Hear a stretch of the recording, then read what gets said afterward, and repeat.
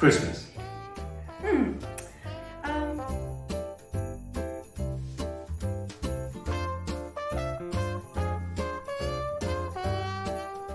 Hmm. Last Christmas I gave you my heart.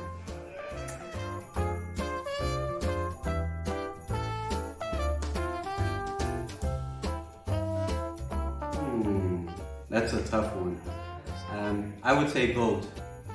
Renal, because it is and will always be the core of our business. And vascular, because it's really definitely one of the key drivers of our future growth. Oh, they go hand in hand at Nipro.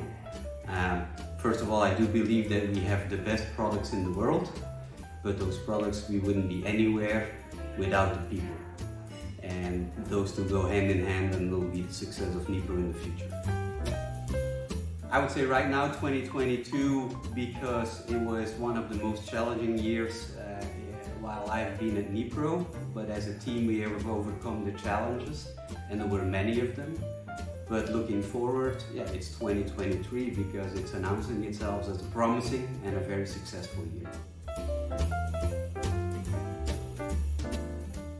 I would like to thank all Nipro colleagues across the globe for uh, their, all of their great support uh, over the past year to overcome all the challenges that we, that we faced. But most and for all, I want to wish you a joyful and peaceful holiday, as well as I wish you a very successful and happy 2023.